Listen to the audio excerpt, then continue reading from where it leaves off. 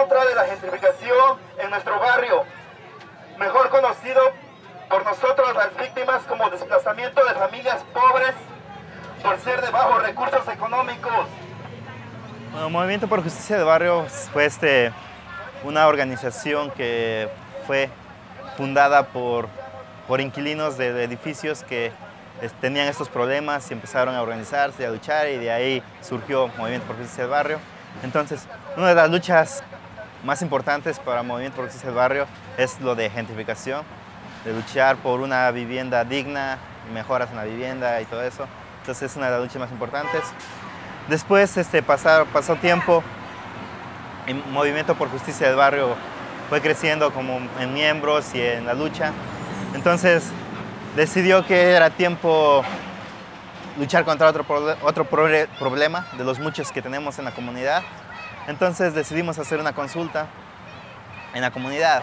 Entonces Movimiento por Justicia del Barrio creemos que somos una organización que representamos a la comunidad y que no podemos decidir por la comunidad. Y aunque sea- seamos un poco más de 300 miembros en la organización, no podemos representar a todo el barrio porque hay mucho más población.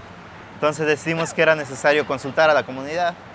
Entonces este, hicimos una consulta en las calles y preguntamos a la gente qué pensaba de los ocho problemas que nombrábamos, cuál de ellos creían que era, que identificaran tres, de los cuales ellos creían que eran los más importantes.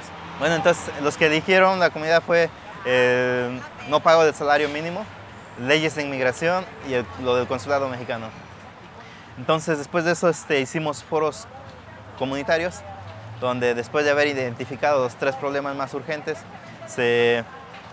entonces invitamos a la población a que viniera, ahí este, empezáramos a discutir cuáles eran los problemas, cuáles eran las consecuencias y cuáles eran las este, soluciones, ¿no? las mejoras que la comunidad necesitaba. Entonces, lo que queremos crear en la comunidad es que no esperen que una organización venga y, y empiece a luchar por ellos, sino que la misma comunidad empiece a tomar iniciativas, a luchar por sí mismos y sea la comunidad la que tenga el poder de hacer el cambio.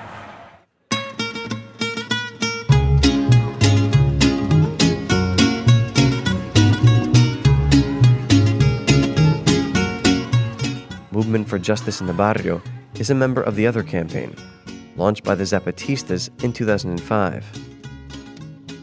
In the sixth declaration of the Selva La Lacandona, the Mexican group declared that real democracy can only be built from below and not through presidential candidates or electoral politics, since voting only legitimizes a system based on exclusion.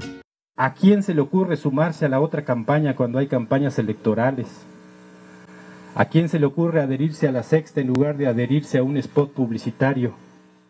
In 2006, instead of joining the campaign trail like the Mexican presidential candidates, the Zapatistas, led by Subcomandante Marcos, held hundreds of other campaign meetings all across Mexico, where rather than speak, they listened.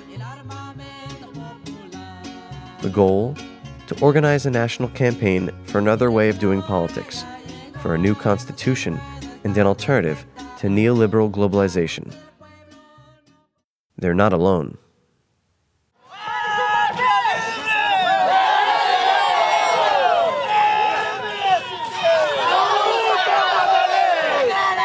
O governo federal se comprometeu em assentar mil famílias até abril e mil até o final do ano, totalizando duas mil. Até esse momento, nenhuma família foi assentada.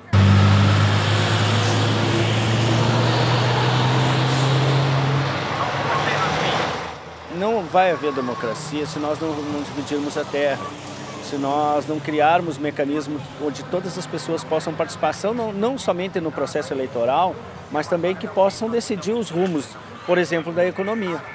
Eh, não podemos aceitar que os governos, tanto estadual como federal, facilitem a instalação de eh, empresas multinacionais que vão poluir e levar nossas riquezas como as papeleiras, como as fábricas de celulose.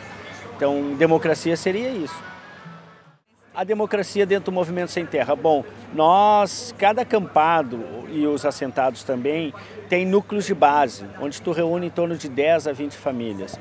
E ali, eh, cada núcleo de base, seja nos acampamentos ou nos assentamentos, tem um coordenador e uma coordenadora, respeitando a questão de gênero, né?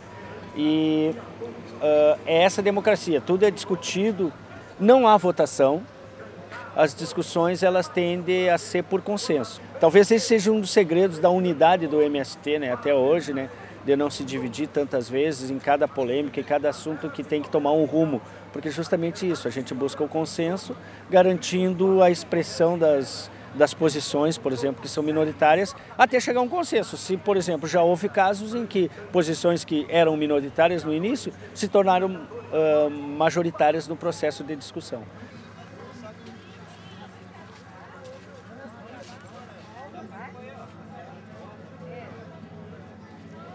Gente precisa ter controle da nossa água, da nossa terra, das nossas riquezas uh, naturais. E isso a gente só vai conseguir com a construção de um projeto que garanta educação, saúde, uh, acesso à informação e por isso a democratização do meio de comunicação também é fundamental nesse processo. Então são eixos que tem que construir e garantir o que foi dito no nosso último congresso ano passado, soberania popular e soberania alimentar. Um povo que não tem soberania alimentar, que não tem soberania nacional, ele não consegue eh, sair das, das, das teias de dominação do grande capital. El capitalismo es una dictadura. Nosotros no queremos ni esa dictadura de la élite, la dictadura del proletariado. No queremos dictadura, queremos democracia. Así que el socialismo es el camino a una verdadera democracia. Y esto es el alba, Francisco, la alternativa bolivariana para los pueblos de nuestra América la integración, la unión Cuba, Venezuela, Bolivia, eh, Nicaragua, Ecuador, el Caribe, pues Sudamérica, el Caribe, Centroamérica. Es allí el proyecto de Bolívar. Y colocar por delante, bueno, lo, social, por eso socialismo, y no el capital, capitalismo. Hay que, invertir los valores que hay en el mundo. Eh, en estos días, no sé si esto es verdad, que Estados Unidos, la constitución tiene 200 años y nunca la han reformulado, ¿no? Yo. Entonces, para mí es una constitución que está, bueno, es una Biblia que nunca la van a poder cambiar.